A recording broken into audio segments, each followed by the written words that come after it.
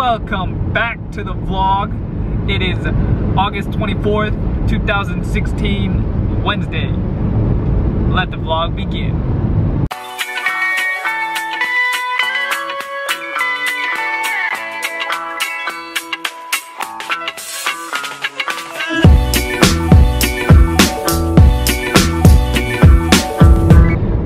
So we are currently in the car on the way to Outcry Conference. If you don't know what that is, watch right here.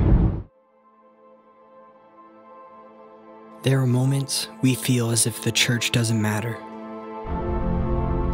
A relic of the past in the ruins of history. Our senses dulled, our emotions worn. We're told that we are out of touch and in decline, irrelevant and dying.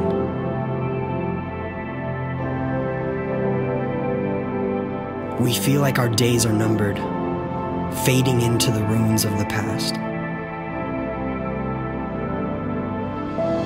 Every corner of the earth his words reverberate.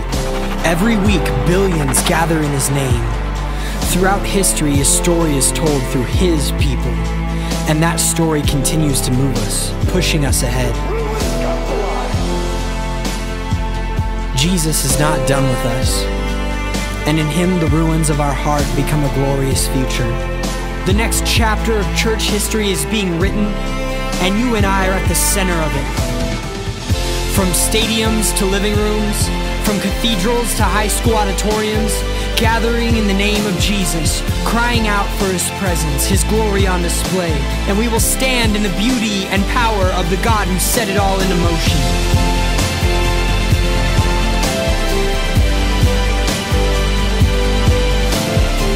We are His movement, we are His people.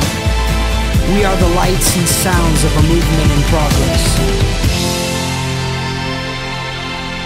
So yeah, we are on the way to Outcry. Um, we've been waiting a long time for this.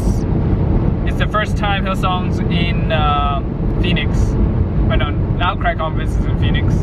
Except uh, we're driving and we are currently like in the middle of a dust storm. You can see like the difference between the dust storm and the non the dust storm. You can't, you, like the mountain disappears, but yeah, can't tell. Anyways, we're on the way to uh, Outcry.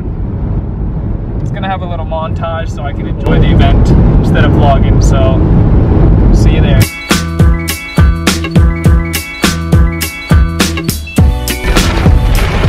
So uh, the dust storm just transitioned into a rainstorm.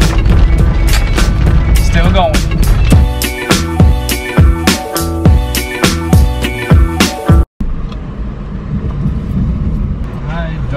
I have to show you this? Yeah. Okay. Make a hard right, and we'll park you down here on the first floor. Just come all the way around. Okay, thanks.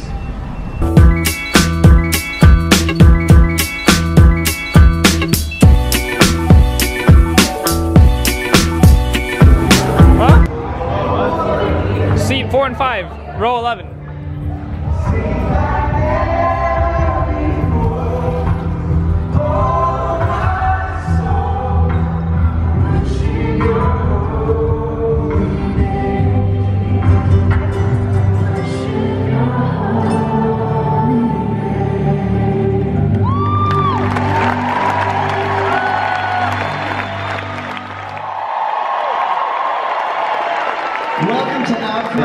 Church, look around you right now. Next time somebody says the church is in decline, we know that the church is powerful and the best days of the church are ahead. Who believes that in here tonight?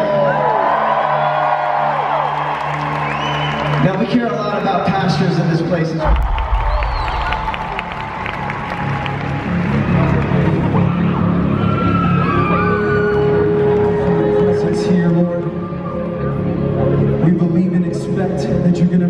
Tonight, God.